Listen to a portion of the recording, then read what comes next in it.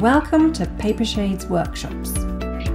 Have you ever thought about creating a lampshade for a special place in your home or as a present? Well, with the Papershades Workshop, you can do exactly that. Relaxed, uncomplicated, a Papershades workshop lasts three hours. In that time, you'll be shown how to design your own lampshade template using paper collage. All the materials are provided, along with expert guidance to bring ideas to life, so no one feels that they can't do it. Once you're happy with the design you've created, it'll be printed on five panels of special translucent paper shades paper. Then you can construct your lampshade using the unique paper shades wheels and voila!